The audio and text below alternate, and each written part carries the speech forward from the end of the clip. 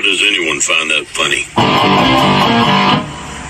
I mean, seriously, how does anyone find that funny? If you laughed at it, there's something seriously wrong with you.